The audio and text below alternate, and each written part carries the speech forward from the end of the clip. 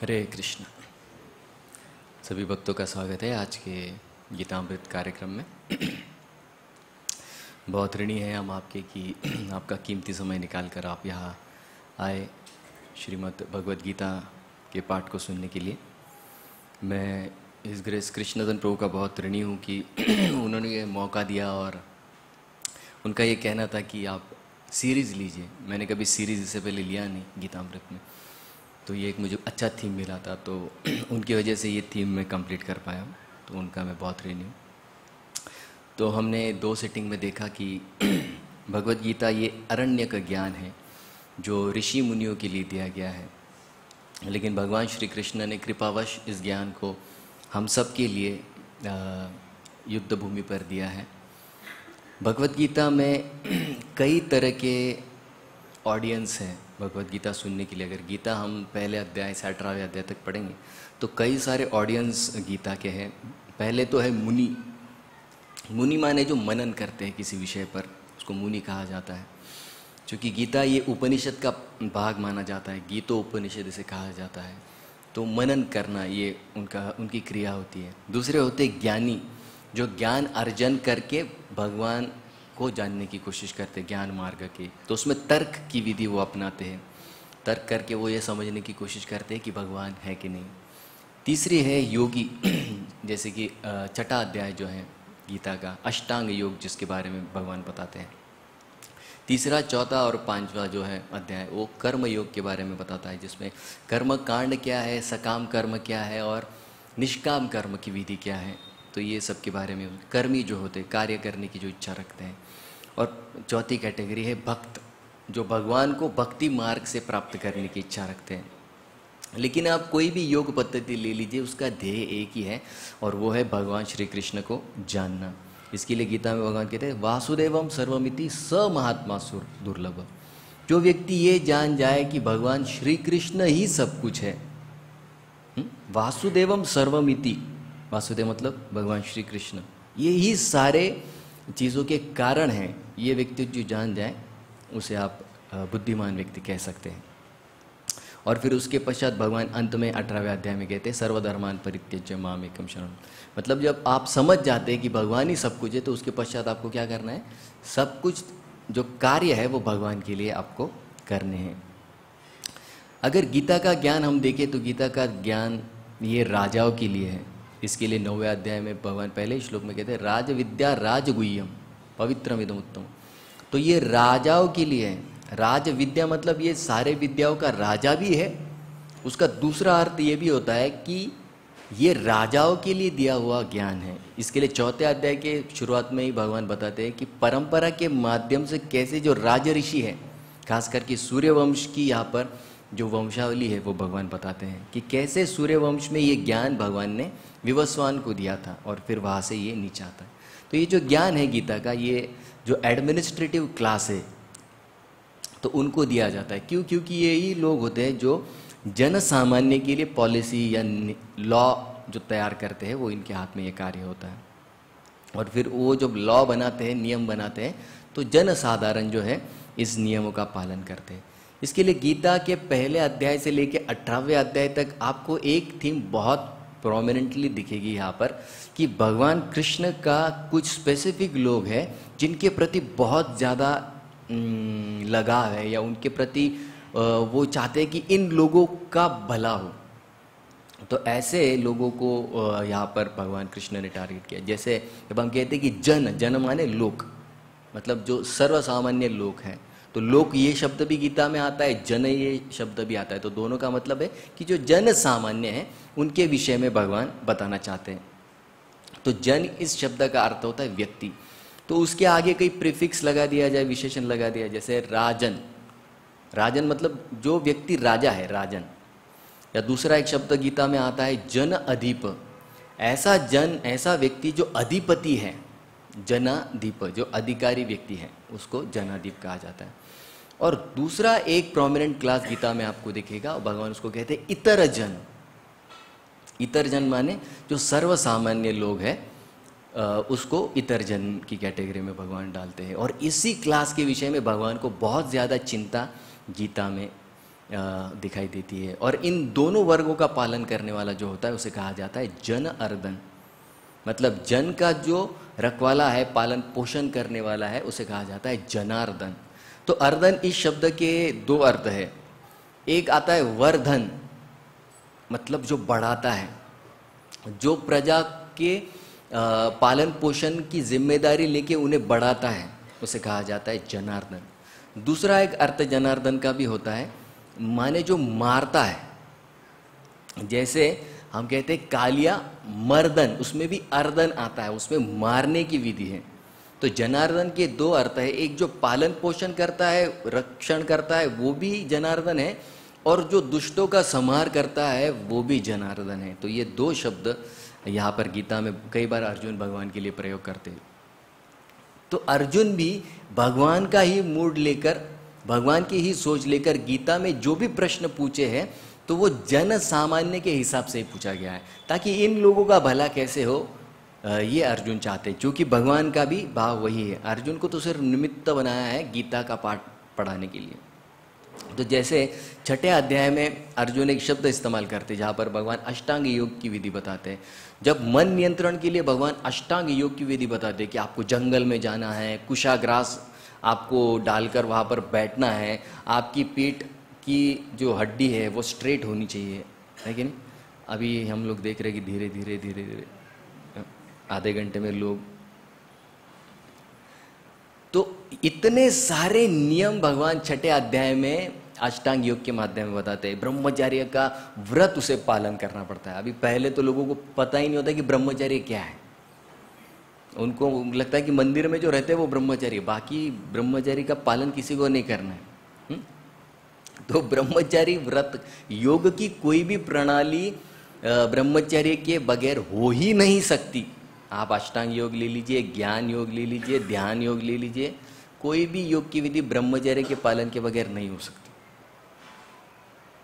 तो इतने सारे नियम जब भगवान देते तो अर्जुन फिर थोड़ा थोड़ी देर रुक जाते हैं। फिर अर्जुन भगवान को पूछते हैं कि आ, ऐसा जो आपने बताया वो सब अच्छा है लेकिन वो एक शब्द इस्तेमाल करते साम्य न मधुसूदन। साम्य न मतलब ऐसा कोई उपाय बताइए जो जन सामान्य के लिए, सामान्य लोगों के लिए इस्तेमाल किया जा सकता है? ऐसी विधि बताइए जिसके माध्यम से सामान्य लोग भी आपको प्राप्त कर सकते हैं। साम्य न मधुसूदन। फिर कहाँ पर आ गई बात? कि जन साधारण अभी कितने लोग हैं यहाँ पर बताइए कि रोज सुबह साढ़े चार बजे उठकर ऐसी जगह पर जाना जहाँ पर जंगल है जहाँ पर हिंस्र प्राणी नहीं आएँगे, वहाँ पर कुशा की जो चटई है वो डालनी है? हम्म? फिर वहाँ पर सीधी पीट करके बैठना है, आपके नाक की तरफ़ देखना है। फिर कौन से नाक से सांस अंदर गई, कौन से नाक से सांस बाहर आई? कितने लोग कर पाएँगे इस विधि को? मुश्किल है। कर सकते हैं, न करने की बात नहीं है, लेकिन मुश्किल है, सबको नहीं जमेगा। इसलिए अर्जुन पूछते कि जन सामान्य के लिए क्या अच्छा है? ये आप मुझे बताइए। और फिर अर्जुन के प्रश्न को भगवान उत्तर देने की शुरुआत करते हैं और फिर ये जो आत्मा का ज्ञान है वो बताते हैं। इसके लिए जो कोई लोग कहते हैं कि भगवत गीता पार्शल है, जातिवादक है तो यहाँ पर जातिवाद का तो कोई विषय ही आता नहीं। क्यों नहीं आता? क्योंकि गीता की शुरुआत ही आत्मा और शरीर के भेद से होती है। तो दो तरह के स्वधर्म यहाँ पर भगवान दूसरे अध्याय के इकतीसवें श्लोक में बताते हैं। स्व थोड़े सब लोग आगे आ जाइए पीछे अभी कई सारे भक्त आने हैं, यहाँ पर काफ़ी जगह आगे। तो दो तरह के धर्म भगवान बताते हैं स्वधर्म अपनी चावेक्षम न विकम्पितुम रसी। तो शरीर का अपना एक स्वधर्म है और आत्मा का अपना एक स्वधर्म है। तो फिर यहाँ पर जो व्यक्ति स्व, माने खुद को क्या पहचान करता है, वो खुद को शरीर मानता है या खुद को आत्मा मानता है इसके ऊपर से उसका स्वधर्म तय होता है। और जब वो स्वधर्म उसका तय होता है तो फिर स्वधर्म समझ के क्या करना है हमको?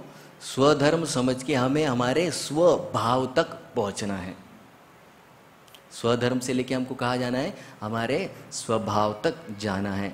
तो अब प्रश्न ये आता है कि हमारा ओरिजिनल स्वभाव क्या है? हुँ? तो ये गीता के तीसरे अध्याय का नववा श्लोक है, हम इसको दोहराएँगे। यज्ञार्थात् कर्मणोऽन्यत्र। लोकोऽयं कर्मबन्धन तदर्थं कर्म कौन्तेय। मुक्तसङ्गसमाचर यज्ञार्थत्कर्मणोऽन्यत्र लोकोऽयं कर्मबन्धन तदर्थं कर्म कौन्तेय। मुक्तसङ्गसमाचर। यज्ञार्थकर्मणोऽन्यत्र। लोकोऽयं कर्मबन्धन। तदर्थं कर्म कौन्तेय। मुक्तसङ्गसमाचर तो इस श्लोक में भगवान बताते हैं, ये दो शब्द मैंने लाल अक्षर में मार्क किए और दो हरे अक्षर में किए तो यहाँ पर भगवान बताते हैं, यज्ञ अर्थ मतलब अर्थ मतलब जिसको हम वैल्यूएबल समझते कीमती समझते हैं तो यज्ञ को हम कीमती समझते हुए, यज्ञ के लिए जब हम कार्य करते हैं तो क्या होता है मुक्त संग हम्म? लाल अक्षर में दोनों किए हम्म?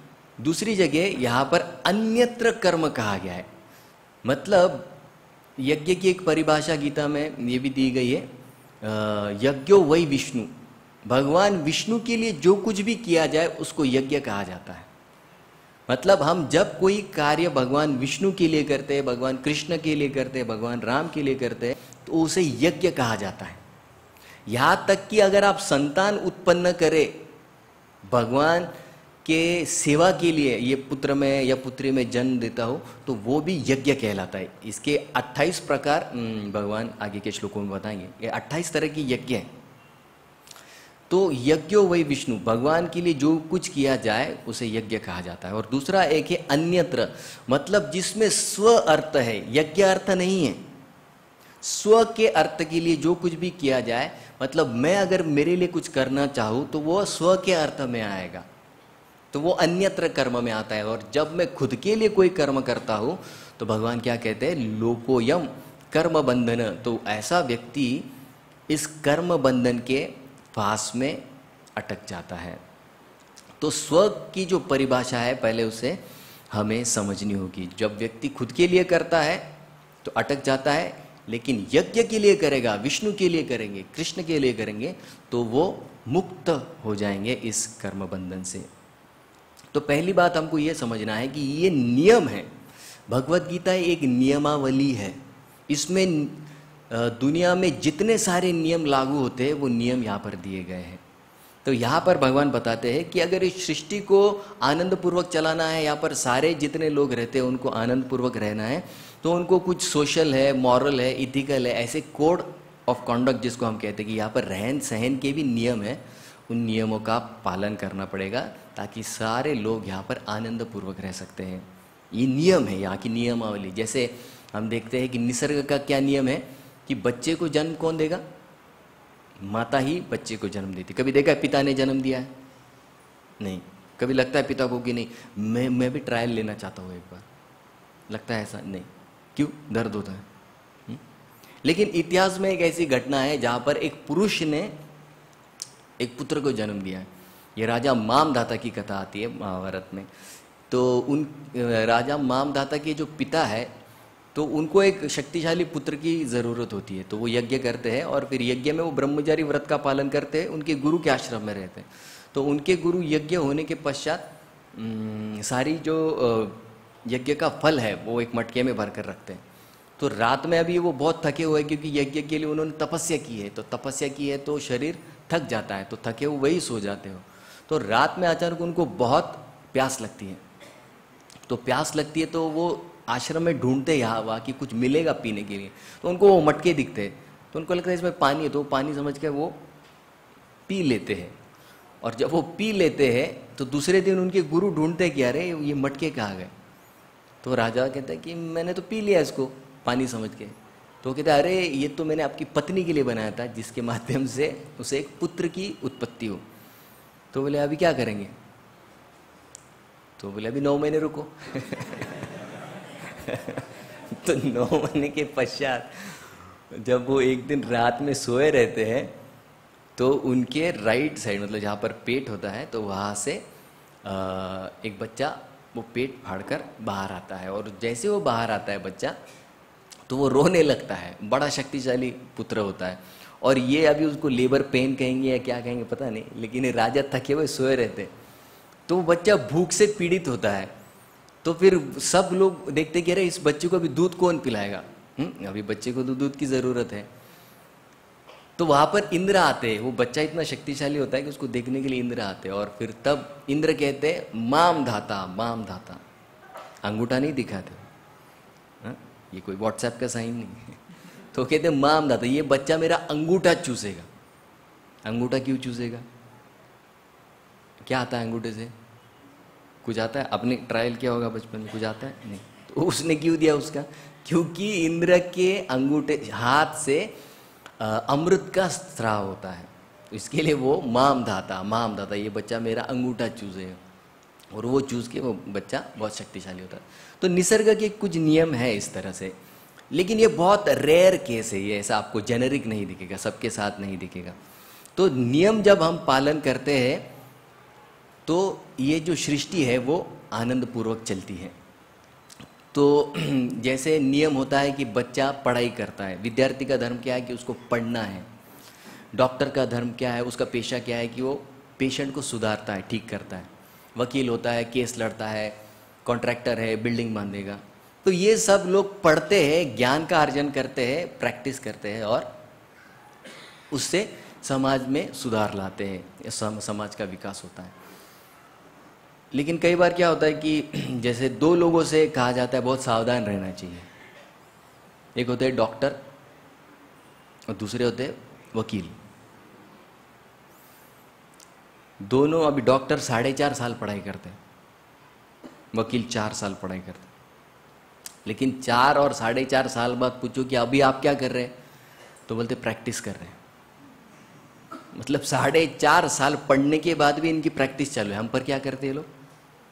डॉक्टर हम पर क्या करते प्रैक्टिस करते हम्म? तो ये दो लोगों से सावधान रहना चाहिए। तो इनका धर्म है, जैसे विद्यार्थी का धर्म क्या है? पढ़ना। डॉक्टर का धर्म क्या है? ट्रीटमेंट करना। तो धर्म इस शब्द का अर्थ हमको पहले समझ लेना चाहिए। तो ये आता है ध्र। ध्र इस आ, मूल शब्द से धर्म ये शब्द की रचना होती है। तो ध्र का मतलब है धारण जो करता है। तो इस धारण के विषय में एक बात कही जाती है कि धारण मतलब सिर्फ़ उसको पकड़ना नहीं है सस्टेन करना नहीं है लेकिन जब कोई व्यक्ति उसको धारण करता है तो उसके साथ उसकी ज़िम्मेदारी भी आती है। जैसे माँ बच्चे को धारण करती है, धारण करने के पश्चात उसकी ज़िम्मेदारी भी बच्चे को बढ़ाने की वो माँ पर आती है। तो धर्म की व्याख्या में जब धारण आता है तो धारण के साथ उसकी ज़िम्मेदारी भी आती है। और जब समाज के लोग अपनी अपनी ज़िम्मेदारी को जब ठीक से निभाते हैं तो क्या होता है? समाज की प्रगति होती है। तो लोग ये प्रश्न पूछते हैं कि अगर मैं समझो, एक व्यक्ति ने अपनी ज़िम्मेदारी का ठीक से पालन नहीं किया तो क्या हो मान लीजिए, निन्यानवे लोग सारे अपनी ज़िम्मेदारी का पालन अच्छी तरह से कर रहे हैं। एक व्यक्ति है जो नहीं करेगा, क्या फ़र्क पड़ता है? हुँ? तो निसर्ग में ये एक बटरफ्लाई इफ़ेक्ट जिसको क्योस थेरी कहा जाता है दिखता है। अभी हम लोगों ने तितली देखी है पहले? तितली जब पंख फड़फड़ाती है तो क्या होता है? कुछ नहीं होता? अगर मैं कहूँ कि तितली ने यहाँ पर पंख फड़फड़ाया और साउथ इंडिया में सुनामी आई, कैसा लग रहा है? नहीं, ये मेरा थेरी नहीं है, ये साइंटिफिक थेरी है और ये प्रूव किया गया है कि जब एक बटरफ्लाई तितली अपना पंख फड़ा, फड़फड़ाती है तो वो एक पंख के पीछे दूसरा पंख जब फड़फड़ाती है तो उसका एक रिएक्शन भी आता है। मतलब हवा में जब वो पंख फड़फड़ाती है तो हवा में कंपन तैयार होता है। तो ये कंपन का जो क्यूमुलेटिव इफ़ेक्ट है तो वो कहीं पर जाकर सुनामी भी बन सकती है। इसको कहा जाता है क्योस थ्योरी बटरफ्लाई इफ़ेक्ट इसको कहा जाता है। तो उसी तरह से जैसे एक तितली अपने सिर्फ़ पंख के फड़फड़ाने से निसर्ग में इतना बड़ा बदलाव ला सकती है एक क्रिया से इतना बड़ा बदलाव ला सकती है, उसी तरह से एक व्यक्ति अगर गलत काम करे निसर्ग में तो वो भी निसर्ग में तहल पहल मचा सकता है। जैसे ये उदाहरण हमने बहुत बार सुना, ध्रुव महाराज की कथा में।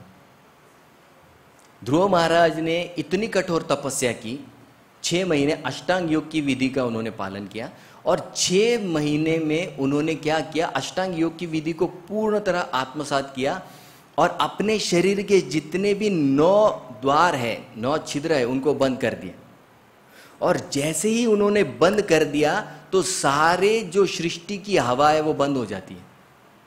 एक व्यक्ति का कार्य, देखिए, एक व्यक्ति ने तपस्या की तो पूरे सृष्टि की हवा बंद हो जाती है। तो इससे यह पता चलता है कि कोई व्यक्ति, कोई अच्छा काम करे, गलत काम करे तो दोनों पर ऐसा प्रभाव पड़ सकता है कि सृष्टि में उसका तहस नहस भी हो सकता है। जैसे जब हिरण्यकश्यपु तपस्या करता है तो क्या होता है? इतनी उष्णता निर्माण होती है सृष्टि में कि सारे देवी देवताओं की सांस घुटने लगती है। और फिर वो ब्रह्मा जी के पास जाते हैं, फिर वहाँ से वो ब्रह्मा जी आते हैं और उनको वरदान देते हैं। तो एक व्यक्ति का कार्य ऐसा भी हो सकता है, जिससे पूरे सृष्टि में तहल चल इसका अगर छोटे प्रमाण में हम उदाहरण ले तो जैसे घर में अगर काम वाली बाई नहीं आती है हुँ? तो हो जाता है ना घर में? बर्तन लग जाते हैं, कपड़े लग जाते हैं घर के सारे काम काज रुक जाते रुक जाते कि नहीं? एक व्यक्ति है, उसने अपना काम नहीं किया, क्या हुआ? घर रुक गया। फिर आपकी सुबह की चाय भी रुक जाती है, आपकी चपाती रुक जाती है, आपका टिफ़िन रुक जाता है। एक व्यक्ति का काम। तो उसी तरह से अगर ऑफ़िस है ऑफ़िस में आपका प्यून है। अगर प्यून नहीं आता है तो क्या होता है? ऑफिसर जाते फ़ाइल लेकर। होता है कई बार, लेकर भी जाना पड़ता है, क्योंकि प्यून आया नहीं। तो एक व्यक्ति अपना काम ठीक से नहीं करे तो पूरे ऑफ़िस में तहलचल मच जाती है। तो एक गलत कार्य, अगर कोई व्यक्ति कहता है कि मेरे एक गलत कार्य से क्या फ़र्क पड़ेगा तो बहुत फ़र्क पड़ता है। जैसे हमने ध्रुव और हिरण्यकशिपु के उदाहरण से देखा। इसके लिए समाज को अगर आनंद पूर्वक बढ़ना है, आगे चलना है तो उसके लिए क्या देखा हमने? कि हमें सहयोग की भावना की ज़रूरत है। जब सहयोग न होते हुए वहाँ पर वियोग आ जाता है तो समाज में क्या हो जाता है? अर्थ से लेकर स्वार्थ की तरफ़ समाज बढ़ने लग जाता है और ऐसा जो समाज है, वो बहुत घातक समाज बन जाता है। एक छोटे से वीडियो से हम देखते हैं। तो उसको नूडल्स उसने देखा कि कुत्ते ने खा लिया। तो वो क्या दिखा रहा है कि नहीं अभी मैं तुमको दूँगा। हुँ? तो वैसे ही समाज में क्या होता है कि जब लोग स्वार्थ में उलझ जाते अपने आप में उलझ मुझे जो चीज़ें अच्छी लगती है वही मैं करूँगा। बाकी लोगों का मुझे पता नहीं। तो समाज में क्या होता है? समाज का विनाश शुरू हो जाता है। तो आजकल जितने भी हम कार्य करते हैं, उसमें कहीं ना कहीं हमारा कुछ थोड़ा सा स्वार्थ तो ज़रूर रहता है। जैसे एक लड़का होता है, उसका नाम राजू होता है। तो वो जब खेलने के लिए जाता है तो वो उनके ग्राउंड के पास में एक घर होता है। तो वहाँ पर एक बूढ़ी नानी रहती तो वो रोज़ उसको एक काजू देती है। तो वो रोज़ काजू खाता है। तो ऐसा महीना बीत जाता है तो राजू को समझता है नहीं कि यार ये मेरे से इतना प्रेम क्यों करती है? तो वो जाके वो नानी को पूछता है कि, नानी, तुम मुझसे इतना प्रेम क्यों करती हो? रोज़ मुझे एक काजू देती हो। तो बोलती है, नहीं, वैसी बात नहीं है। क्या है? मेरे दांत नहीं है। तो मुझे चॉकलेट बहुत पसंद आता है।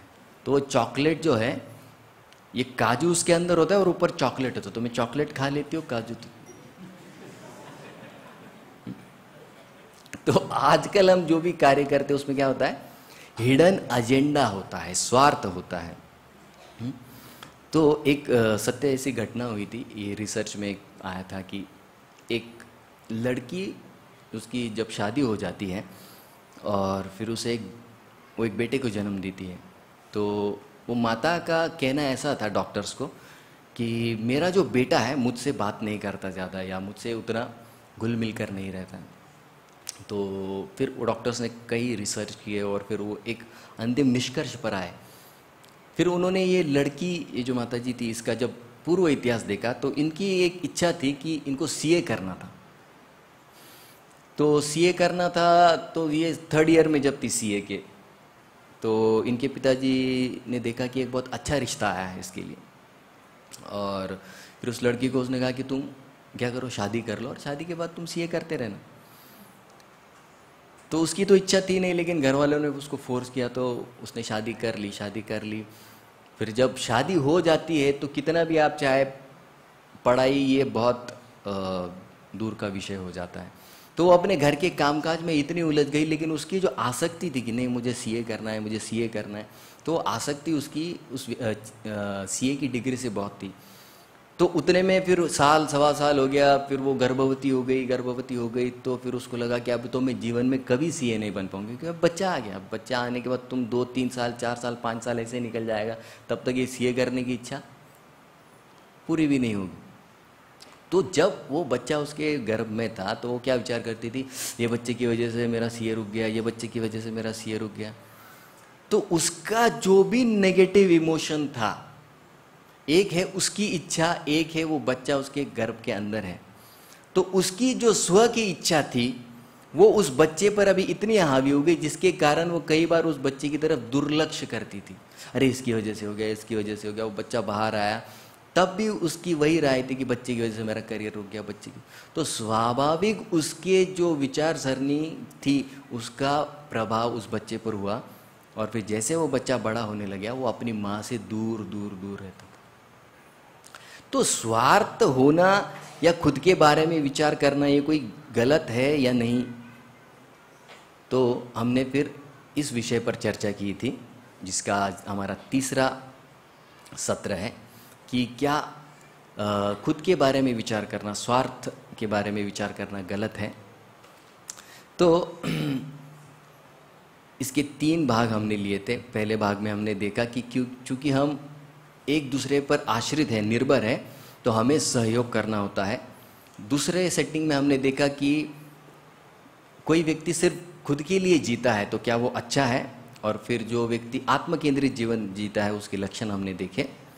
और आज के सेटिंग में हम देखेंगे कि ये जो आत्म केंद्रित जीवन है, उससे अगर हमें बाहर आना है तो हमें क्या करना होगा?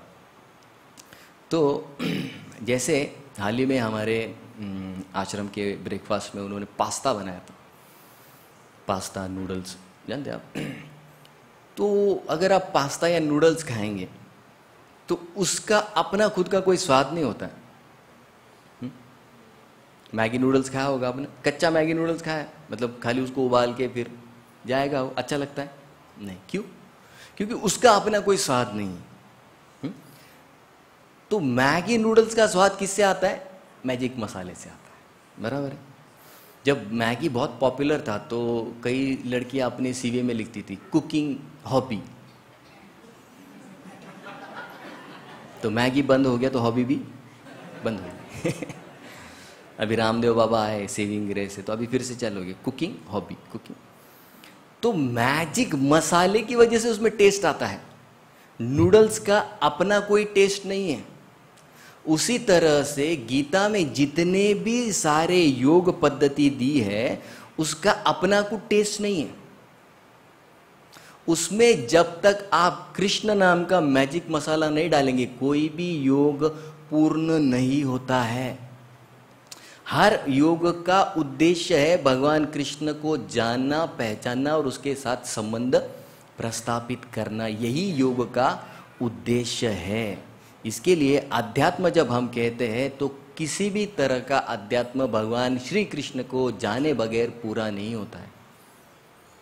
व्यास उच्चिष्टम जगत सर्वम, जितना भी ज्ञान है, वो भगवान व्यासदेव का उच्चिष्ट है। और पंद्रहवें अध्याय में व्यासदेव क्या कहते हैं? यहाँ पर गीता में भगवान क्या कहते हैं? सारे वेदों को पढ़कर किसको जानना है? वेदेश सर्वेर अहमेव वेद्य। वेद्य मतलब जानना किसको है? मुझे ही जानना है। किसी भी योग की प्रणाली को करने के पश्चात हमें भगवान कृष्ण तक ही पहुँचना है। इसके लिए जब तक कृष्ण नहीं है, वो अध्यात्म किसी काम का नहीं है या अधूरा है। काम का नहीं माने, वो अधूरा है। इसके लिए हम आज तीन मुद्दे लेंगे। एक है स्वभाव, एक है स्वधर्म और एक है स्व अर्थ हम्म? तो जैसे हमने विषय की शुरुआत की थी कि क्या स्वार्थी होना, खुद के बारे में सोचना गलत है क्या? तो पहले तो हमें इसके लिए स्व की परिभाषा को समझना होगा। तो तीन चीज़ों को स्व कहा जाता है। एक तो शरीर को भी स्व कहा जाता है मन को भी स्व कहा जाता है और आत्मा को भी स्व कहा जाता है। तो शरीर का धर्म अलग है, स्वधर्म, और आत्मा का स्वधर्म अलग है। तो ये मान्यता जैसी होगी जिस व्यक्ति की, उस तरह से इसकी परिभाषा बदलती है।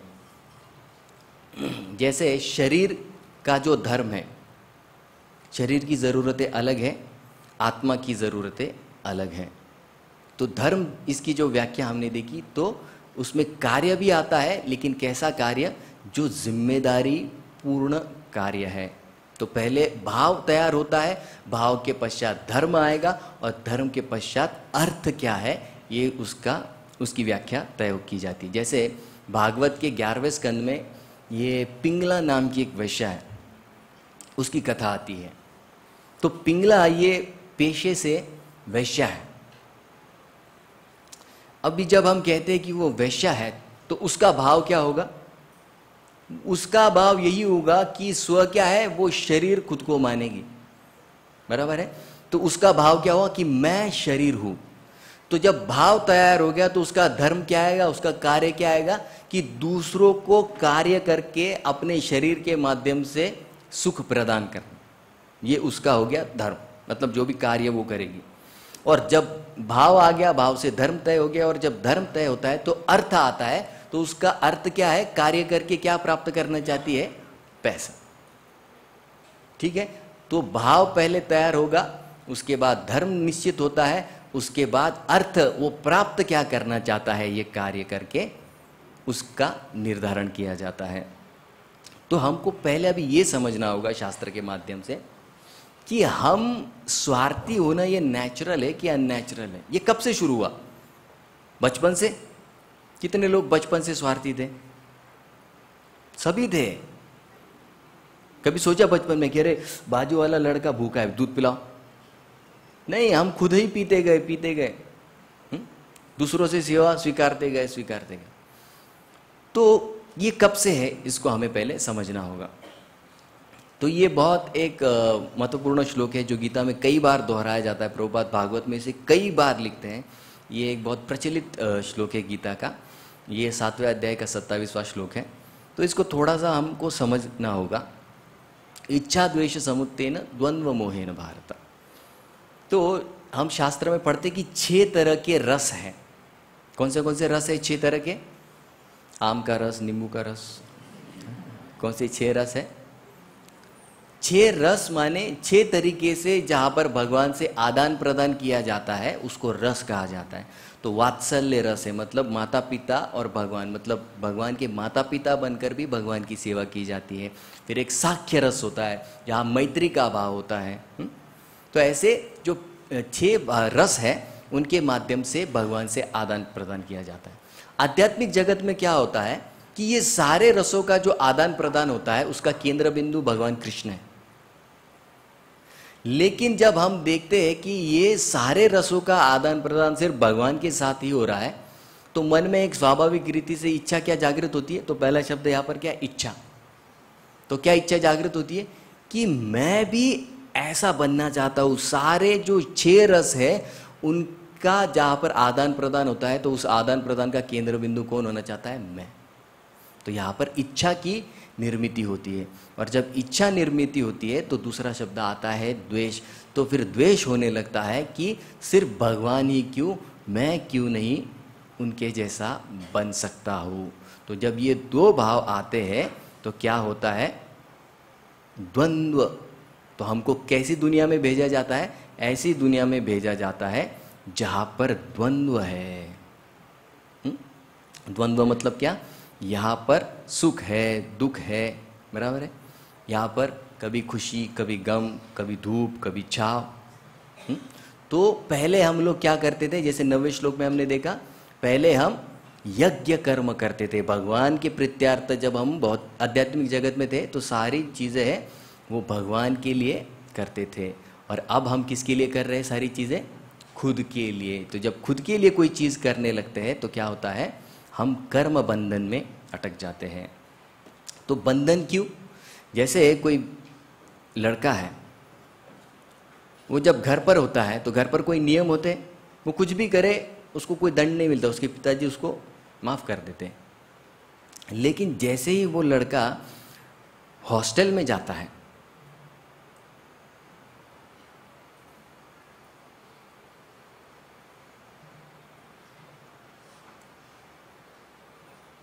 इसका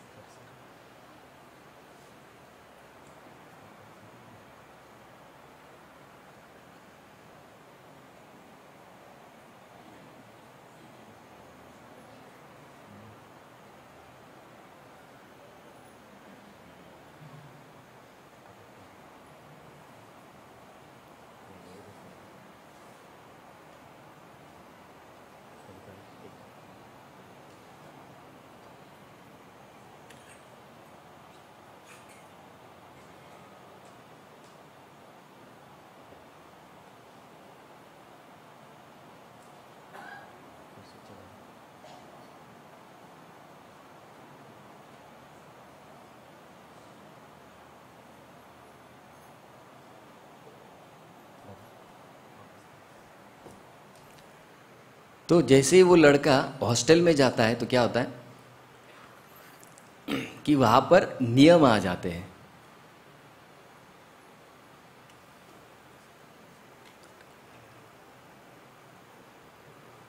यार। तो जैसे ही वो लड़का हॉस्टल में जाता है तो उस पर सारे नियम उस पर लागू हो जाते हैं।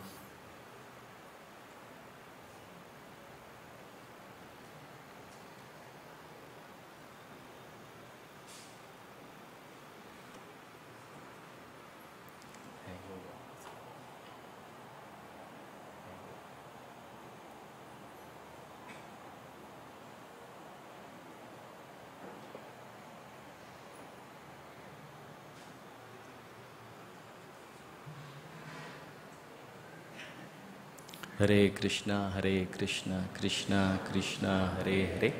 हरे राम हरे राम राम राम।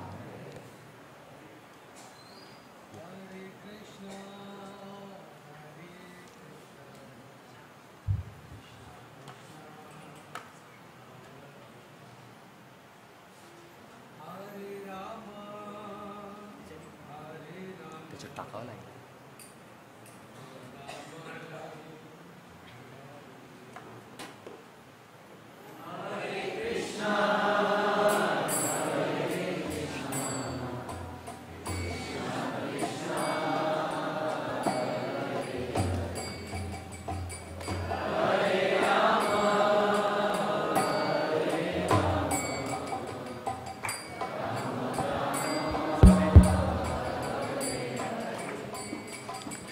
हरे कृष्णा हरे कृष्णा कृष्णा कृष्णा हरे हरे।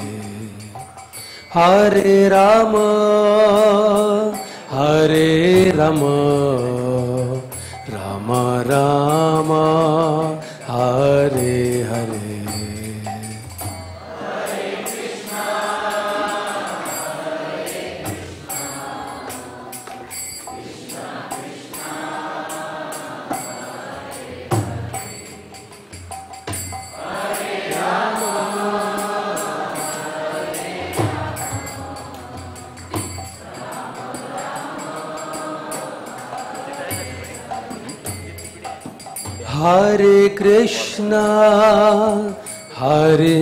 हरे कृष्णा कृष्णा कृष्णा हरे हरे हरे राम हरे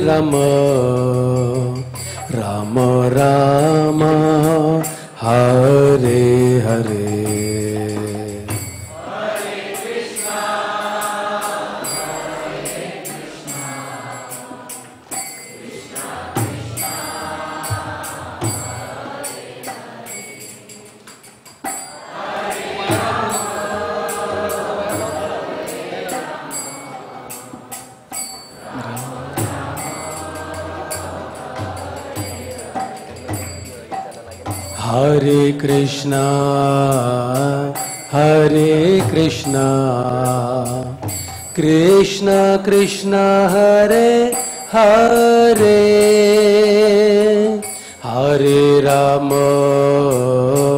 हरे राम। राम राम हरे हरे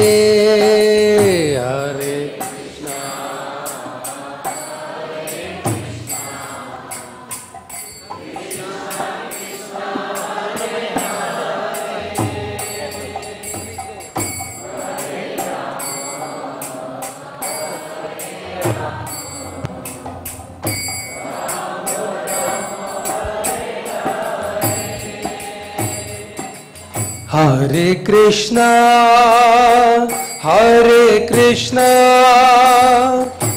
कृष्णा कृष्णा हरे हरे हरे राम हरे राम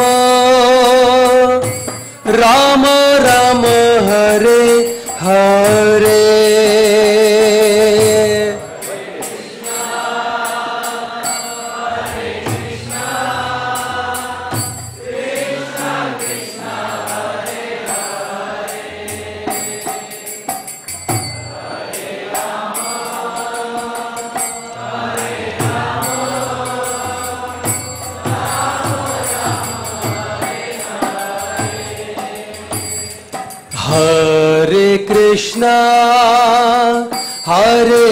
कृष्णा कृष्णा कृष्णा हरे हरे।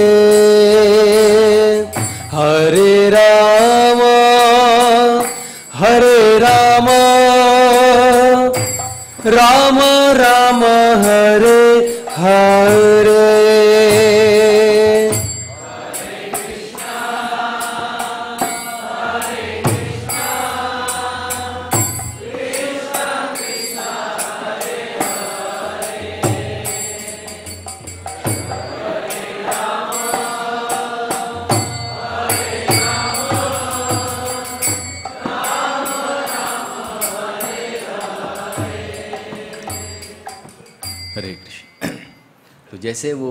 बच्चा घर पर होता है तो उसके नियम नहीं होते। लेकिन जैसे ही वो घर से बाहर जाता है कॉलेज के लिए, हॉस्टल में जब रहता है तो वहाँ पर नियम उससे लागू हो जाते हैं। तो उसी तरह से यहाँ पर जब जीव आता है भगवान को छोड़कर तो यहाँ पर ये जो दुनिया है, ये नियमों की दुनिया है। यहाँ पर उसे नियमों का पालन करना पड़ता है। क्योंकि वो एक इच्छा लेकर आया है तो इच्छा क्या लेकर आया है कि मुझे भी भगवान की तरह भोक्ता बनना है, नियंत्रक बनना है। सारी चीज़ों का मैं नियंत्रक बनना चाहता हूँ। तो यहाँ पर जितने सारे लोग आए वो यही दो इच्छाएँ लेकर आए तो जब सारे लोग एक ही इच्छा लेकर आए तो उसकी इच्छा पूरी करने के लिए उसे वो स्वतंत्रता जगह दी जाती है। तो इसके लिए यहाँ पर अगर सब लोगों को अपनी अपनी इच्छा को पूरा करते हुए रहना है आनंद पूर्वक तो नियमों की यहाँ पर ज़रूरत पड़ती है। तो फिर प्रश्न ये आता है कि क्या खुद के लिए कार्य करना गलत है? तो नहीं, बिल्कुल नहीं। यहाँ पर खुद के लिए कार्य करना ज़रूरी गलत नहीं है, क्योंकि सारे ही लोग यहाँ पर खुद की इच्छाओं को पूरा करने के लिए आते हैं। लेकिन हम ये भूल जाते हैं कि जब हम यहाँ पर आते हैं तो सारी जो चीज़ें हैं, यहाँ पर हमें दूसरों से मिलती है? तो खुद के लिए काम करना गलत नहीं गलती कहाँ है, वो अभी यहाँ पर हम इस श्लोक से देखेंगे। जैसे कोई व्यक्ति होता है, ऑफ़िस में काम करता है तो जब ऑफ़िस में काम करता है तो उसको टेबल दिया जाता है, कुर्सी दी जाती है, लैपटॉप दिया जाता है, उसको सारी फैसिलिटीज़ दी जाती है। तो उसे ये सारी फैसिलिटीज़ क्यों दी जाती है? ताकि वो ऑफ़िस के लिए काम करे कंपनी के लिए काम करे। लेकिन कोई व्यक्ति अगर मानिए उसको लैपटॉप दिया है, वो लैपटॉप को घर पर लेके आए तो क्या होगा? तो वो गलत हो जाता है। तो ये मानना कि ये सारी चीज़ें मेरे लिए है, ये मान्यता गलत है। वो खुद के लिए लेना गलत नहीं है, लेकिन ये मानकर चलना कि ये सारी चीज़ें मेरे लिए है, ये प्रॉब्लम है। तो इस श्लोक से हमको क्या समझना है कि खुद के लिए हम कार्य कर सकते हैं, लेकिन ये कार्य करने के लिए जितनी सारी फैसिलिटीज़ हमें दी है, वो हमारे लिए नहीं है। कार्य करके, उस कार्य से जो भी उत्पन्न होगा, उसे हमें दूसरों की सेवा में लगाना है। इसके लिए कई बार भक्त ये प्रश्न पूछते हैं कि पति के लिए पत्नी और पत्नी के लिए पति ये बंधन का कारण है। नहीं, ऐसा नहीं जब पति ये मानता है कि ये पत्नी मेरे लिए है, और पत्नी जब ये मानती है कि ये पति मेरे लिए है, तब बंधन होता है। मानने से बंधन होता है, इस्तेमाल करने से बंधन नहीं होता। तो बंधन की जो क्रिया है, वो मानसिक स्तर पर है। जब कोई व्यक्ति मान कर चलता है, तब बंधन होता है। उस चीज़ को लेने से, उसका इस्तेमाल करने से बंधन नहीं होता। जैसे कंपनी में जब कोई व्यक्ति काम करता है तो काम वो कंपनी के लिए करता है। उसके बदले में उसे क्या मिलता है? सैलरी। सैलरी खुद के लिए होती है, सैलरी कंपनी के लिए नहीं है। वैसे ही यहाँ पर जब कोई चीज़ हम इस्तेमाल करते हैं तो वो जो चीज़ है वो हम गवर्नमेंट से लेते हैं कंपनी से लेते हैं तो उसका जो फ़ायदा है, वो गवर्नमेंट के लिए या कंपनी के लिए ही होना चाहिए। उसके बदले में हमें क्या मिलता है? वेतन मिलता है। वैसे ही जब हम कहते हैं कि कर्म योग है तो कर्म हमें भगवान के लिए करना है, और योग जो है, वो हमारा वेतन है। योग माने कर्म करने के पश्चात जो भगवान के साथ हमारा संबंध जुड़ता है, उसे कहा जाता है योग। तो जैसे कोई व्यक्ति काम करता है, कंपनी के लिए उसको मिलती है तनख्वाह। उसी तरह से कर्म किए जाते हैं संसार के लिए, जहाँ पर हम रहते हैं, उसके बदले में हमें क्या मिलता है वेतन रूप में? वो योग, वो जो जोड़ना होता है भगवान के साथ, वो विधि उसे प्राप्त होती है। तो ये सबसे पहला मुद्दा है जो हमें समझना है कि मानने से बंधन होता है, उस चीज़ को इस्तेमाल करने से या प्राप्त करने से नहीं होता है। जैसे कोई बैंक में कैशियर होता है तो कैशियर का काम क्या है? पैसे देना। वो ये मानकर नहीं चलता कि जब मैं हज़ार रुपये दूँगा तो दस रुपये मेरे लिए रखूँगा। तो वो चोरी हो जाती है दस रुपये की। उसी तरह से ये जो सारी चीज़ें हैं, वो संसार में किसके लिए दी गई है? दूसरों की मदद करने के लिए दी जाती हैं। उसमें अगर कोई चीज़ हम खुद के लिए रख लेते हैं तो फिर वो चोरी कहलाती है, जिससे बंधन होता है। इसके लिए योग का मतलब क्या है? कि हमें भगवान के साथ जोड़ना है। लेकिन कैसे जोड़ना है? बिना किसी अभिलाषा से। कुछ पाने की अभिलाषा जहाँ पर है, वो योग कर्म योग नहीं कहलाता। इसके लिए अगर हमें यहाँ से बाहर निकलना है, इस कर्म बंधन से तो उसके लिए सबसे आसान तरीका भगवान ने क्या दिया है हमें? कर्म योग की विधि दी है। कर्म योग में मतलब ऐसे कर्म करना जिससे कोई बंधन हमें उत्पन्न न हो, जो सिर्फ़ दूसरों के लिए हो, उसे कहा जाता है कर्मयोग। तो कर्मयोगी कौन है? जिसमें स्वार्थ की कोई भी इच्छा नहीं है, जिसमें कोई भी स्वार्थ नहीं जुड़ा है, छिपा है, उसको कहा जाता है कर्मयोग। वरना वो अगर कुछ भी इच्छा है तो वो सकाम कर्म में आता है, और यही जो जीवन शैली हमें दी जाती है कि सारी चीज़ें खुद के लिए करना है, सब कुछ किसके लिए चाहिए? मेरे लिए चाहिए। तो ये हमारे बंधन का और हमारे विनाश का भी कारण बनता है। जैसे प्रभु जी एक बहुत सुंदर उदाहरण शेयर कर रहे थे। जब वो गोवा गए थे तो गोवा में उनके लेक्चर के बाद एक महिला उनसे मिलने के लिए आई और वो महिला उसको कह, उनको कह रही थी कि वो डिप्रेशन की एक बड़ी केस थी। तो उसका पूरा प्रभु जी ने स्टोरी सुना कि कैसे वो डिप्रेशन में गई और कैसे उसका पति से उसका जमता नहीं है, उसके बच्चों से उसका जमता नहीं है और वो बहुत तान तनाव में रहती है। तो प्रभु जी ने उनको एक बहुत सिंपल सोल्यूशन दिया। प्रभु जी ने उनको कहा कि आप ऐसा कीजिए कि आपसे एक सिर्फ़ छोटी से छोटी जो भी चीज़ बने वो कीजिए किसी और के लिए। तो उनको लगा कि प्रभु जी कोई बहुत बड़ा सोल्यूशन देंगे तो उन्होंने इन, उनको ये सोल्यूशन बहुत पसंद नहीं आया लेकिन फिर भी चूँकि कहा है, इसके लिए वो करने लग गई। तो जब, अभी क्या करेंगे छोटे से छोटा? अब तक तो सारी चीज़ें है, वो खुद के लिए की है। तो उनकी जो काम वाली बाई थी, वो काम वाली बाई का बेटा स्कूल में जाता था, जो भी उनका मीडियम होगा। और वो गरीब होने के कारण क्या था कि उस बेटे को उसे छोड़ने के लिए जाना पड़ता था, बस के लिए उनके पास पैसे नहीं थे। तो बस के लिए पैसे नहीं है तो छोड़ने के लिए देरी होती थी, फिर देरी हो गई तो काम पर आने के लिए देरी होती थी तो यहाँ घर के काम काज रुक जाते थे। तो उसने पूछा उस काम वाली बाई से कि तुम इतना लेट क्यों आती हो? तो उसने बताया कि बेटे को छोड़ने जाना पड़ता है, फिर लेट हो जाता है, इसके लिए काम पे आने में देरी होती। तो इसके लिए सोल्यूशन क्या है? तो ये काम वाली बाई का जो बेटा था, और ये मैडम थी, उनकी जो बेटी थी तो मैडम की बेटी का स्कूल, और ये काम वाली बाई के बेटे का स्कूल थोड़ी ही दूरी पर था। तो फिर वो मैडम ने कहा कि ठीक है, कोई बड़ी बात नहीं है, कल से क्या करो, मैं तुम्हारे बेटे को स्कूल छोड़ दूँगी। क्योंकि मेरी बेटी का स्कूल बाद में आता है, तुम्हारे बेटे का स्कूल पहले आता है। तो रोज वो क्या करने लग गई? उस लड़के को काम वाली बाई के बेटे को अपनी गाड़ी में बिठाती थी, रोज स्कूल में छोड़ती थी, और उसके बाद उसकी बेटी को छोड़ती अब ये क्या बहुत बड़ा काम है? ऑन द वे ही है। वो काम कैसा है? उसको कोई बहुत बड़ा उसके लिए करना नहीं पड़ा। लेकिन सोचिए, इतनी छोटी सी चीज़, उसमें कोई स्वार्थ की भावना नहीं थी कि ये काम वाली बाई से मुझे कुछ प्राप्त होगा, या मेरा दो काम ज़्यादा करे, या तीन काम ज़्यादा। ऐसी कोई भावना उसमें नहीं थी। एक छोटा निस्वार्थ कार्य उसने किया, और फिर एक महीने के पश्चात वो महिला ने प्रभु जी को फ़ोन करके ये बताया कि मेरा जीवन पूरी तरह से बदल गया है। कैसे बदल गया? एक छोटा सा काम करके इतना बदला। तो जब कोई व्यक्ति निष्काम भाव से किसी के लिए कार्य करता है तो अपने आप अंदर से एक संतुष्टि जागृत होती है। क्योंकि यह निसर्ग का नियम है।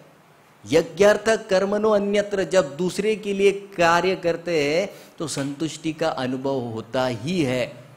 जब वो महिला देखती थी कि काम वाली भाई इतने आनंद से अभी घर का काम करती है, पहले से कई ज़्यादा काम करती है, पहले से कई ज़्यादा अच्छा काम करती है और खुश है, जब उसके चेहरे की खुशी वो देखती थी तो वही उसके लिए एक बहुत बड़े संतुष्टि का अनुभव कराती थी। तो जब हम किसी के लिए निस्वार्थ भाव से काम करते हैं तो क्या होता है? आनंद की अनुभूति होती है। जैसे एक बार मैं बस से जा रहा था और बस से जब तो कई लोग क्या कहते फटी नोट दे देते। तो एक व्यक्ति ने वो कंडक्टर को फटी हुई पाँच सौ रुपये की नोट दे दी। जब उसने उसको पाँच सौ रुपये की फटी नोट दे दी और जब उसने कैलकुलेशन शुरू किया और उसने देखा कि ये नोट तो फटी हुई है, ना तो एटीएम में जाएगी, ना तो बैंक में कोई इसे लेगा। तो वो व्यक्ति इतना चिल्लाने लगे बस का कंडक्टर था। इतना सब जो पैसेंजर थे, इसको ये बोल, उसको वो बोल। और अंतिम फिर वो कहाँ पर आ गया? वो ये बोलने लगा कि आप लोग जो भी इतना धर्म का पालन करते, इतना अध्यात्म करते, कुछ काम का नहीं बोले। सब फालतू है, सब टाइम पास है।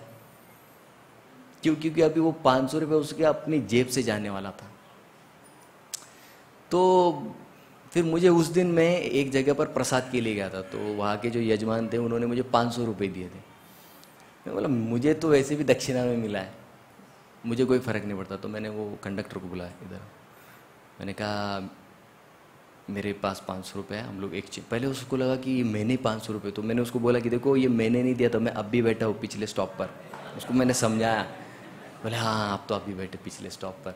मैंने कहा हाँ आपका जो फटा हुआ नोट है, मुझे दे दीजिए और मेरा पाँच सौ रुपये का नोट तो जैसे उसने ये सुना कि आप पाँच सौ रुपये अभी मेरी जेब से नहीं जाएँगे।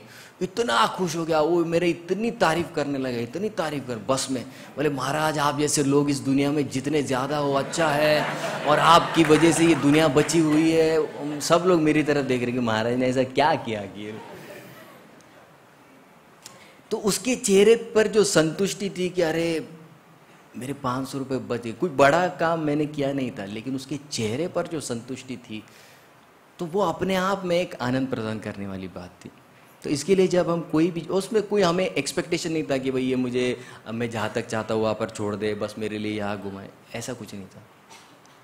तो हमारा मेन प्रॉब्लम क्या है कि स्वार्थ स्वार्थ अच्छा है, स्वार्थ अपने आप में गलत नहीं है, उसकी भी एक यूटिलिटी है। लेकिन जब वो हद से गुजर जाता है तो फिर समाज में सारे प्रॉब्लम शुरू हो जाते जैसे ध्रुव की कथा में हम देखते हैं। ध्रुव का प्रॉब्लम क्या था? मुझे नहीं मिला। मुझे मेरे पिता की गोद में बैठने नहीं मिला तो इसके लिए मैं क्या करूँगा कि मेरी माँ जो है, सौतेली माँ, जिसकी वजह से मुझे नहीं बैठने मिला, उसका भले कुछ भी हो जाए, लेकिन मुझे मेरा स्वार्थ पूरा करना है। अब ध्रुव की जो कथा है, हमने इतनी बार सुनी है, लेकिन एक बात हम समझना भूल गए। ध्रुव ने जब उसकी माँ, सगी माँ के पास जाता है और ध्रुव कहता है कि मुझे ऐसा राज्य चाहिए जो ब्रह्मा जी से मेरे ग्रैंडफादर से भी ज़्यादा बड़ा हो। तो उसकी माँ ने ये नहीं कहा कि हाँ बेटा, हम लोग लेंगे, ज़रूर लेंगे, भले लड़ झगड़ कर लेंगे केस डाल देंगे तेरे पिताजी पर। ऐसा नहीं कहा उसकी माँ। उसकी माँ प्रैक्टिकल थी। ये प्रैक्टिकल स्पिरिचुअलिटी है, देखिए। उसकी माँ बहुत प्रैक्टिकल थी। उसकी माँ ने क्या कहा, देख भाई, मेरी इतनी ताकत नहीं है। मेरी इतनी ताकत नहीं है कि मैं तुझे इतना बड़ा राज्य दिलाऊं। तुझे अगर चाहिए तो तू विष्णु के पास जा, तपस्या कर, तुझे वो दे देंगे। आजकल माता पिता क्या करते हैं, जब बच्चा रोता है एडवर्टाइजमेंट भी देखिए ना, कैसे निकालते पिता और पुत्र बस स्टॉप पे खड़े हैं। बस स्टॉप पे खड़े हैं और फिर अचानक बस आती है और बस में बहुत भीड़ होती है और फिर वो पिता अपने बच्चे को बस में चढ़ाना चाहता है, लेकिन इतनी भीड़ है, उसके बच्चे को तकलीफ़ होती है और फिर दोनों रुक जाते हैं कि जाने दे बेटा, दूसरी बस में जाएँगे।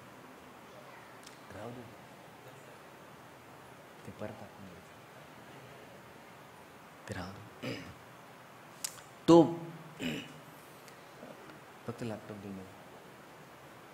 तो जब बच्चा पिता ये देखता है कि बच्चे को इतना बुरा लगता है कि मेरे पिताजी मुझे बस में भी नहीं ठीक से जगह दे सकते। तो वो पिता क्या करते फिर अचानक क्या होता है उसमें मारुति सुजुकी की गाड़ी आती है। मारुति सुजुकी देखिए इतने इतने हफ़्ते में आपको इतनी इतनी गाड़ी मिल जाएगी। तो उसको लगता है कि हाँ मैं अभी दिन रात मेहनत करूँगा और दिन रात मेहनत करके क्या होगा? मैं ये मारुति सुजुकी खरीदूँगा? मारुति सुजुकी खरीदने से क्या होगा? मेरे बच्चे की सारी समस्याएँ दूर हो जाएगी। लेकिन एडवर्टाइजमेंट में ऐसे ही दिखाते हैं हम लोगों लेकिन जब आप मारुति की कोई भी गाड़ी खरीदते तो आपके सारे प्रॉब्लम खत्म हो जाते हैं।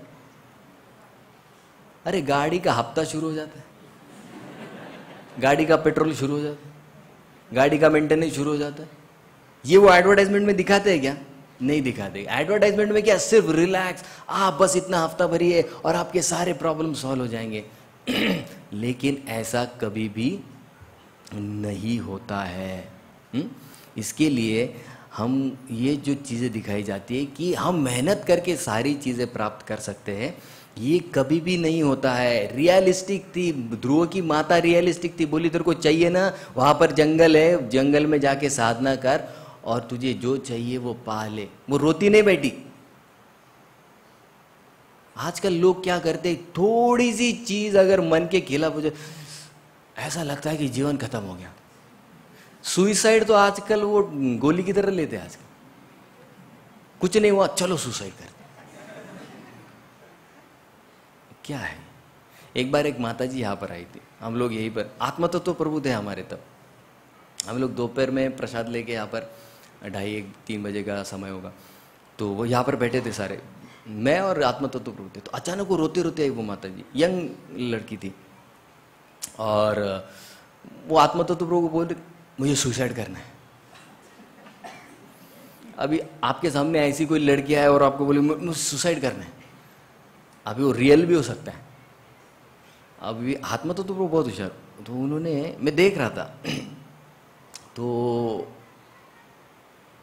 वो उनको बोले सीरियस हो गया हाँ बोले, इधर नासड़ी है। जाओ, कुछ जाओ। तो वो लड़की ने एक्सपेक्ट ही नहीं किया था कि महाराज ऐसा बोले। जाओ, कुछ जाओ। तो वो उसके लिए बहुत बड़ा शौक था। तो वो बोली, नहीं नहीं, वो नासड़ी में पानी गंदा है। मैं दूर से देख रहा था। तो बोले, ठीक है, फिर गंगा, रामकुंड पे चले जाओ। नहीं नहीं, बोले, उधर पानी कम है। तो एक्चुअली उसका मरने का कोई इरादा नहीं था। लेकिन वो लड़की इतनी फ्रस्ट्रेटेड थी मतलब उसके जीवन में पता नहीं क्या हो गया था वो लड़का छोड़ गया या क्या हुआ। तो यहाँ पर मंदिर में और बोले सुइसाइड करना है। तो कहने की बात क्या है, हमारा जीवन इतना खोखला क्यों है? क्योंकि हम पूर्णता चाहते हैं। हम ऐसा संबंध ढूंढ रहे हैं जो हमें पूर्ण लगे, जिसमें हम पूर्ण आनंद की अनुभूति करें। जैसे वो लड़की पता नहीं क्या हुआ था, लेकिन उसको लगा कि नहीं, मेरा जीवन अभी भी अधूरा है। मैं कुछ ऐसी चीज़ की खोज में हूँ जो मुझे सेटिस्फैक्शन दे। इसके लिए कर्मयोग जब हम कहते हैं तो हम ऐसे व्यक्ति से जोड़ना चाहते हैं जो पूर्ण है, और वो एक ही व्यक्ति है, पूर्ण पुरुषोत्तम भगवान श्री कृष्ण।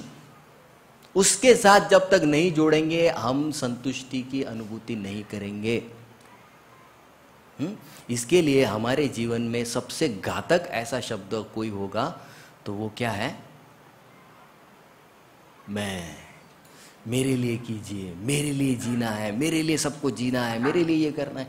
हर जगह हमारा क्या होता है? एक्सपेक्टेशन मेरी ये इच्छा है, मेरी वो इच्छा है। हुँ?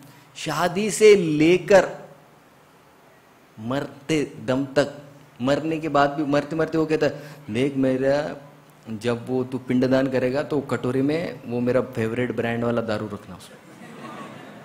हाँ कुछ लोग हैं।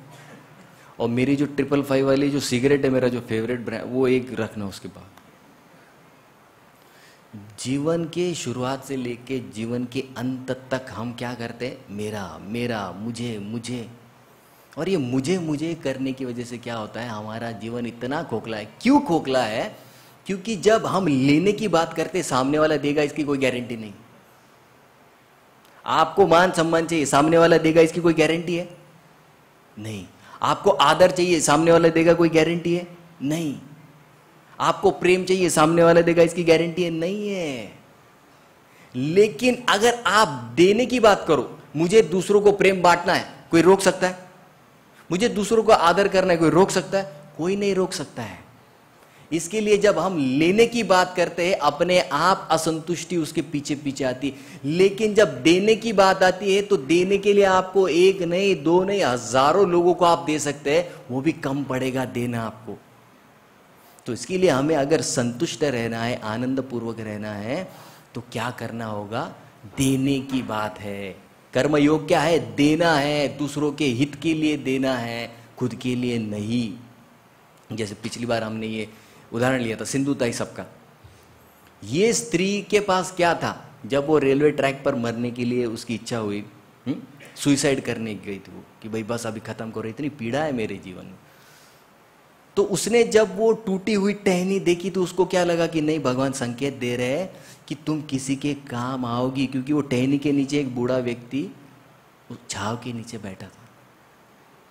तब उसके मन में आया कि ठीक है, मैं मेरे लिए नहीं जीऊँगी, लेकिन ये जो अनाथ बच्चे हैं, इनके लिए मुझे जीना है। तो फिर एक नहीं, दो नहीं, कई सौ, दो सौ, हज़ार बच्चों की माँ है आज वो।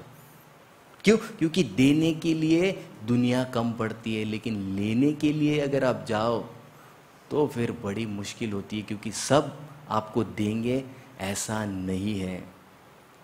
एक लड़का मेरे पास आया था, कॉलेज का, थर्ड ईयर का लड़का। वो कह रहा था कि मेरे पिताजी मुझसे प्रेम नहीं करते।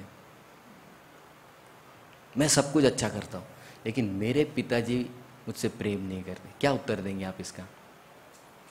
फोर्स करेंगे आपके पिताजी को? चाकू लगाएँगे, कल से प्रेम करो। अरे नहीं होता है ऐसे प्रेम। इसके लिए ध्रुव महाराज को सुनीति ने क्या बताया कि देखो भाई, तुम्हारे पिताजी देंगे कि नहीं पता नहीं। लेकिन तुम दूसरी बात क्या करना कि तुम्हारी माँ और तुम्हारा जो सौतेला भाई है, उसके बारे में बुरा नहीं सोचना। ये बताते आजकल माता पिता कोई बताता ही नहीं अपने बच्चों को कि भाई दूसरे के बारे में तुमको बुरा नहीं सोचना, ना मिले तो कोई बात नहीं। दूसरा और तरीका है जिससे हम वो चीज़ को प्राप्त कर सकते हैं। इसके लिए अगर इस आय को मतलब आत्म केंद्रित जीवन को अगर हमें निकालना है तो क्या करना होगा हमें? देने की बात यहाँ पर आ रही है, हमको देना होगा। जैसे देखा, यहाँ पर वो माँ बच्चे को नीचे रख दिया, मोबाइल के साथ खेल रही बच्चे के साथ खेलना चाहिए तो मोबाइल के साथ खेल रही है? क्यों?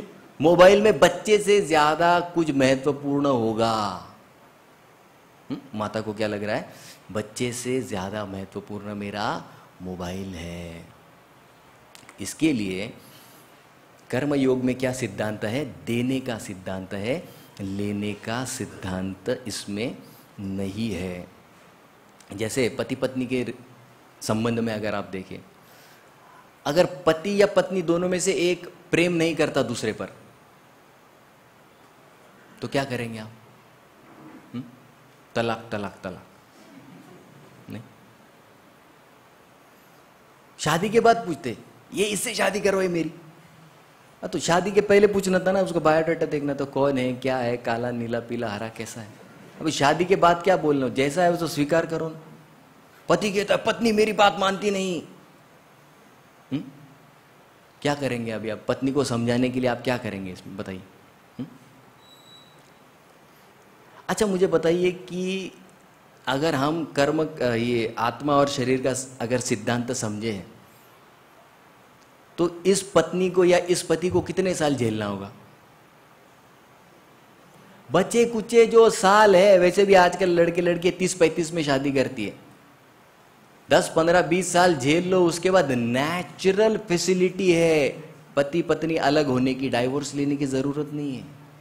वान प्रस्थ आश्रम ये इनडायरेक्ट डाइवोर्स है। पचास साल के बाद नेचुरल फैसिलिटी दी है लेकिन हमको क्या चाहिए? ये कुछ भी कहते हैं, मुझे वनवास लेना, अरे वनवास नहीं है भाई।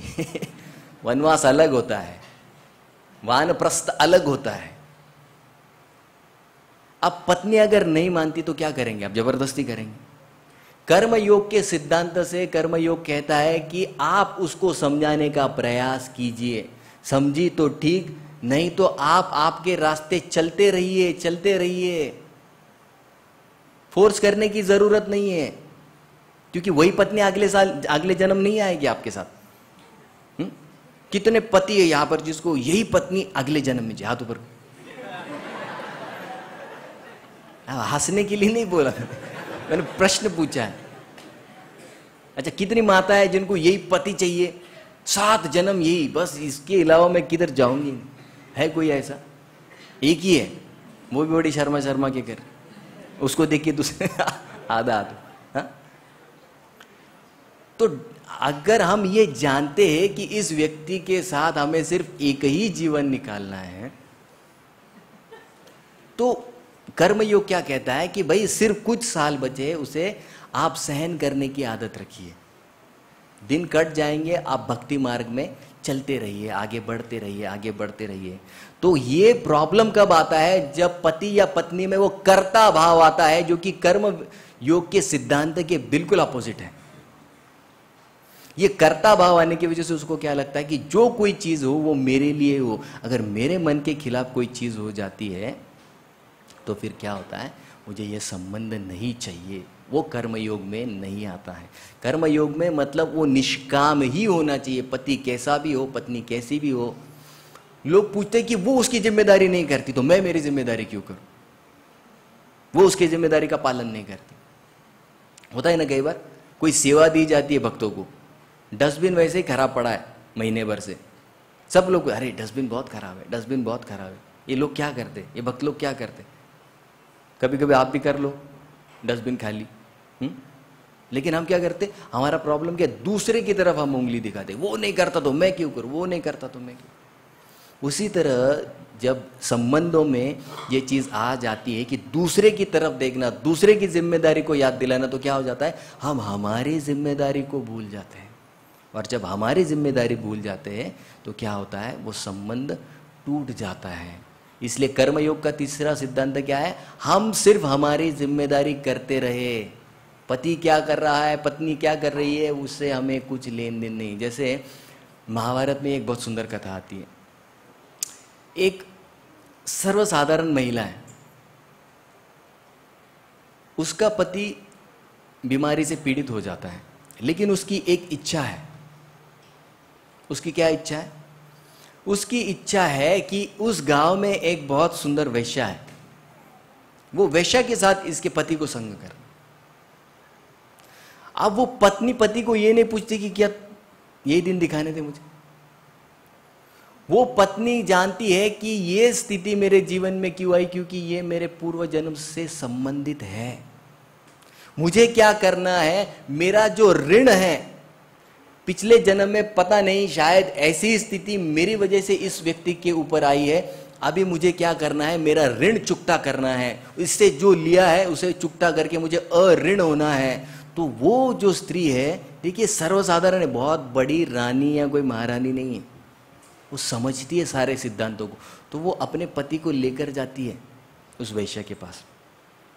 वो वैश्य की सेवा करती है, बहुत सेवा करती है तो वो वैश्य पूछती है कि क्यों इतनी सेवा कर तब वो कहती कि मेरे पति की ऐसी ऐसी इच्छा है। और वो वैश्या कहती ठीक है, उसे लेकर आओ। जब लेकर जाती है तो वो वैश्य उसको समझाती है कि, अरे, तूने इतनी मेहनत भगवान को प्राप्त करने के लिए की होती तो शायद अब तक भगवान तुझे प्राप्त वैसे जैसे बिलवा मंगल ठाकुर जी की कथा थी।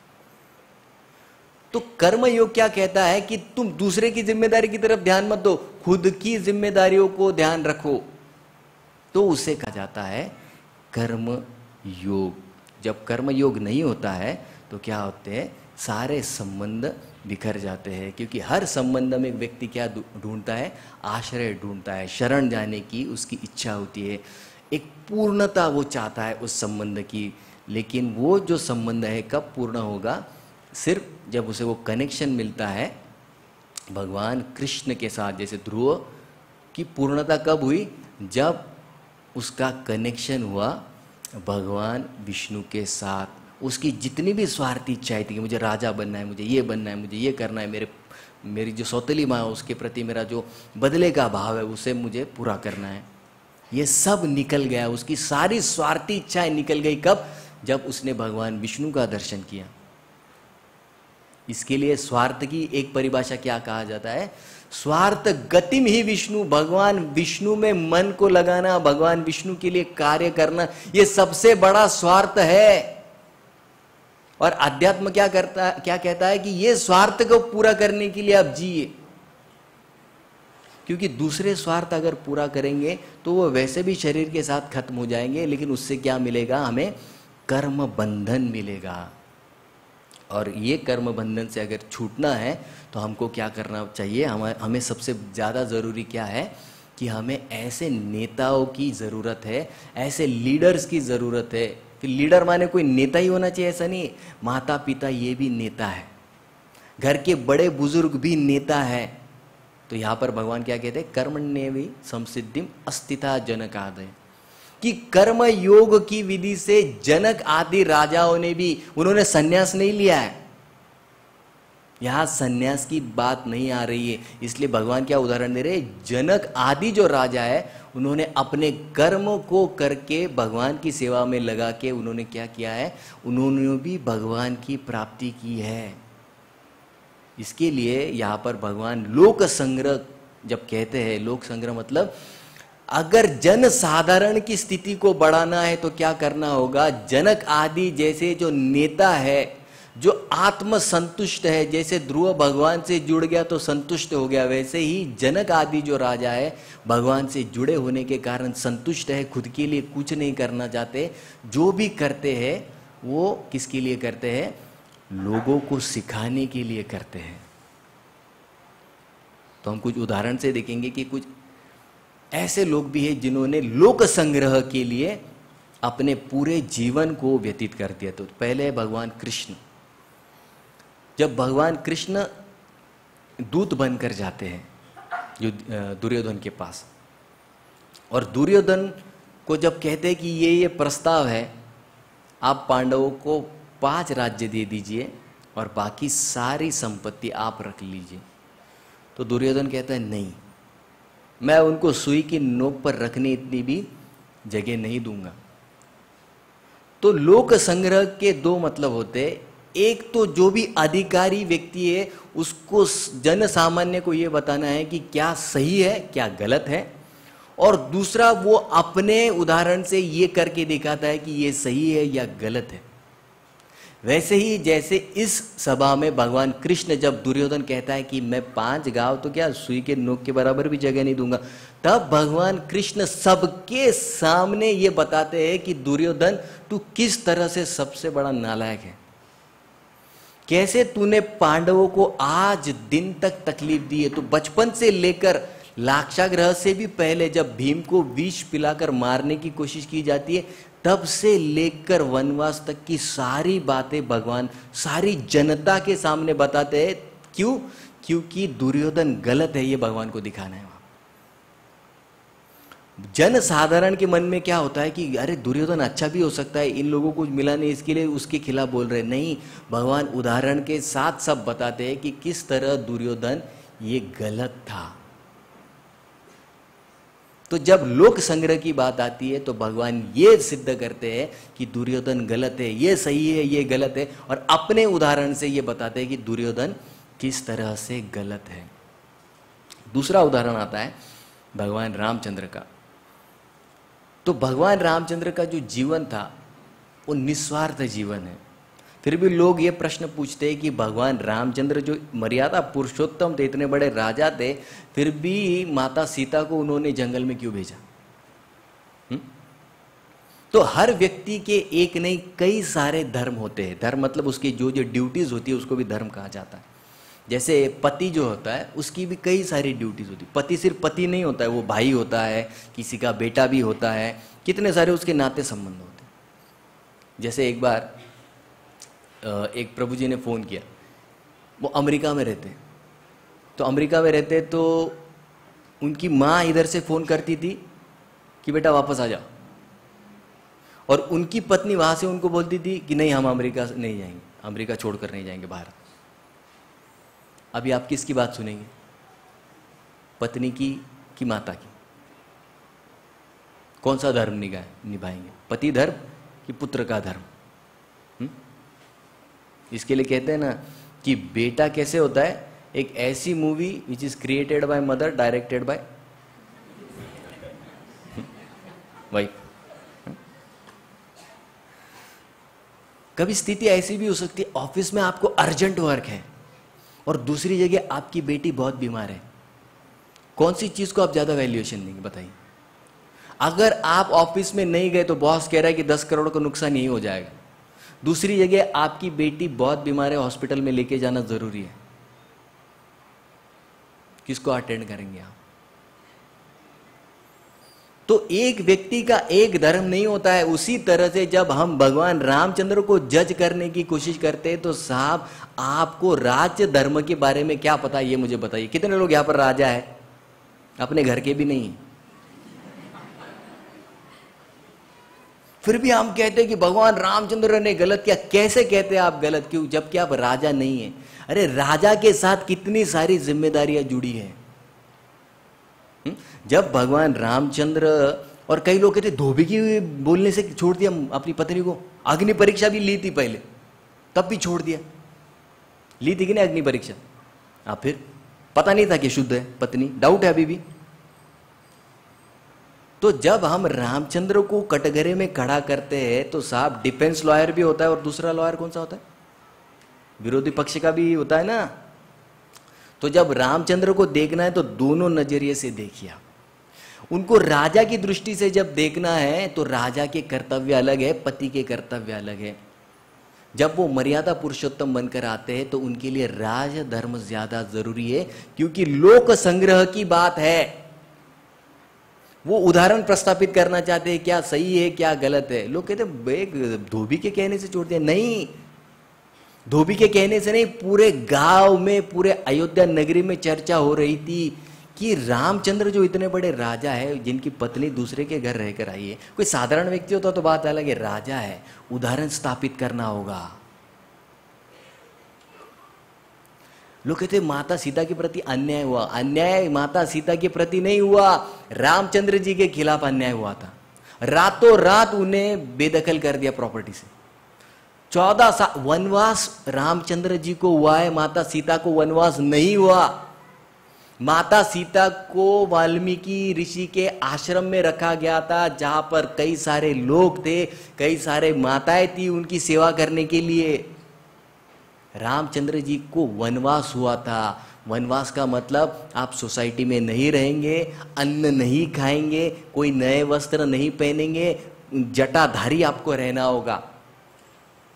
इसको कहा जाता है वनवास। माता सीता को एक पति का जो रोल है, उन्होंने बखूबी निभाया और उनको वाल्मीकि ऋषि के आश्रम में रखा। उनकी सारी जरूरतों को पूरा किया। और इधर राजा होने की वजह से राज धर्म को भी अच्छी तरह से निभाया। इसके लिए जब जीवन में आता है ना कि पति की भी सेवा करनी ज़रूरी है, बच्चों को भी संभालना है, साथ ही साथ डिवोशन ले, अपना भक्ति का जीवन भी करना है तो रामायण हमको क्या सिखाता है? हमारे जितने सारे धर्म है ड्यूटीज़ है, उनको बैलेंस करना पड़ेगा। और दूसरी बात, ये इंसिडेंट से हमको ये सीखनी है कि साहब, आप जितना भी दूसरों के लिए करेंगे, आपको सारे लोग अप्रिशिएट करेंगे। ये भावना अगर आप मन में रख रहे हैं तो सबसे बड़े, सबसे बड़ी गलती आप कर रहे हैं। आपको हमेशा अप्रिशिएट किया जाएगा, समझा जाएगा, ऐसा नहीं होगा। हुँ? इसके लिए हमें जो एक दूसरे के जो संबंध में खामी देखने की आदत है ना, गलतियाँ ढूँढने की आदत है, उसको छोड़ देना होगा। कहीं जैसे एक बार एक बूढ़ी औरत पिक्चर देखने जाती है। तो पिक्चर देखने जाती है तो वो पेप्सी की बोतल लेकर आती है, पेप्सी। उसमें स्ट्रॉ डालती है। तो डेढ़ घंटा हो जाता है इंटरवल हो जाता है। पीती रहती हो। तो इंटरवल के बाद फिर पिक्चर शुरू हो जाती है। तो उसके बगल में एक लड़का बैठा। तो इतना इरिटेट हो जाता है, उसको समझ में नहीं आता इतने डेढ़ घंटे से है ढाई सौ एम की बॉटल क्या पी रही है इतना तो वो ज़ोर से उसके हाथ से वो बॉटल छीन लेता है लाओ इधर। तुमको पेप्सी भी नहीं पीने आता। गट गट गट गट इस तरह से पेप्सी पीते तो वो बूढ़ी बोलती, इतना परेशान होने की ज़रूरत नहीं थी। बोले, मुझे पान खाने की आदत है, थूकने के लिए जगह नहीं थी बॉटल ले आए।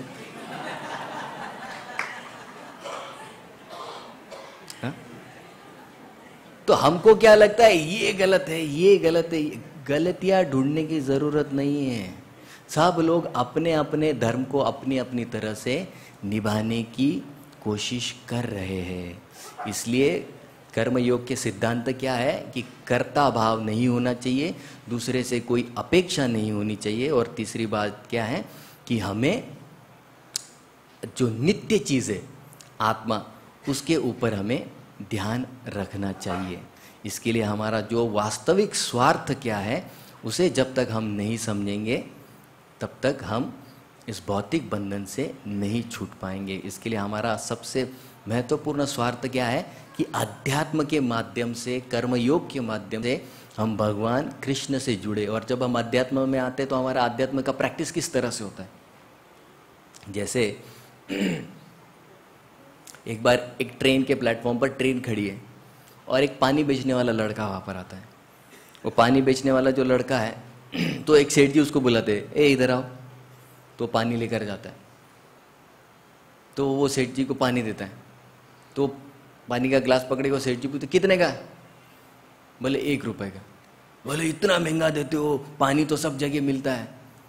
तो लड़का वापस ग्लास लेता है और चले जाता है हँसते हँसते तो दूसरा व्यक्ति ये उसको देखता है कि ये हँसते हँसते क्यों चला गया? तो वो लड़के को बुलाते इधर। बोले, तुम हंस क्यों रहे थे? सेठ जी से पानी का ग्लास वापस लेके। तो फिर वो लड़का कहता है कि बोले, सेठ जी को प्यास नहीं लगी थी? अरे बोले, तुमको कैसे पता सेठ जी को प्यास नहीं लगी थी? बोले, जिस व्यक्ति को प्यास लगी होती है, वो पहले पानी पिएगा, फिर पूछेगा कितना हुआ? सेठ जी ने पहले क्या पूछा? कितना पैसा हुआ? तो वो खाली बार्गेन करना चाहते थे, प्यास नहीं लगी। वैसे ही जब तक हमको प्यास नहीं लगेगी भक्ति की, कि हाँ मुझे भक्ति करनी है, मुझे भगवान को प्राप्त करना है, तब तक हम क्या करेंगे? खाली माला लेके, झोली लेके घूमते रहेंगे इधर गार्डन में। हम भक्ति नहीं कर पाएँगे, क्योंकि प्यास हमें नहीं लगी है। बिलवा मंगल ठाकुर की कथा कितनी बार सुनी हमने? बिलवा मंगल ठाकुर जी शव को लेकर उन्होंने जो नदी को पार किया, किसका शव था? वो उनकी पत्नी थी। वो पत्नी उनको कह रही थी कि आप मत जाइए नदी में, मत जाइए नदी में। तो उसका पैर फिसल जाता है, वही लाश बनकर आगे उसको पकड़ के वो क्रॉस करते हैं। इतनी आर्त भावना थी उस वैश्या को मिलने के लिए। उस तरह से जब तक हम में आर्त भावना नहीं आएगी, तब तक हम भगवान को प्राप्त नहीं कर पाएँगे। तो यहाँ पर प्रोपात 2.66 में एक बहुत सुंदर मुद्दा बताते हैं। प्रोपात बताते हैं कि जब तक हमारे पास एक ध्येय नहीं है जीने के लिए कि हाँ मुझे भगवान को प्राप्त करना है, तब तक हम भगवत भक्ति में प्रगति नहीं कर पाएँगे। हुँ? इसके लिए जब हम कर्म योग की बात करते हैं तो कर्म योग में क्या है? देने की बात है। भक्ति में क्या है? हम भगवान को सेवा प्रदान करना चाहते हैं। जैसे ददीची ऋषि की कथा आती है भागवत में। ददीची ऋषि ने अपनी हड्डियाँ दे दी। क्यों? क्योंकि भगवान विष्णु को प्रसन्न करना है। अपनी हड्डियों से जो वज्र बनेगा, उससे वृत्रासुर नाम का राक्षस मारा जाएगा। भगवान विष्णु की प्रसन्नता के लिए अपने शरीर को त्याग दिया उन्होंने। इसके लिए परमवीर चक्र पर किसका निशान है आज? यही ददीची ऋषि का निशान है, जिन्होंने अपनी खुद की हड्डियाँ दूसरों की सेवा में दे दी। इसके लिए कर्म योग का मतलब क्या है? दूसरों के लिए कार्य करना, निस्वार्थ कार्य करना, जिसमें कोई अपेक्षा नहीं है।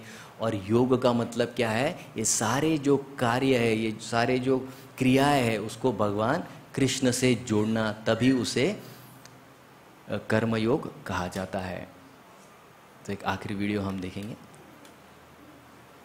दूसरों की सेवा कर सकते हैं। जैसे ये व्यक्ति अंधा है, लेकिन फिर भी दूसरों के बारे में सोचता है। तो कब हमारा कर्मयोग पूरा होगा? जब हम देने की भावना स्वीकारेंगे। तो अगर हम में ये स्वार्थी भावना है खुद के लिए जीने की तो वो कैसे जाएगी? इस निष्काम कर्मयोग के माध्यम से ही वो जाएगी। हरे कृष्णा हरे कृष्णा कृष्णा कृष्णा, हरे हरे। हरे राम हरे राम राम राम, हरे हरे।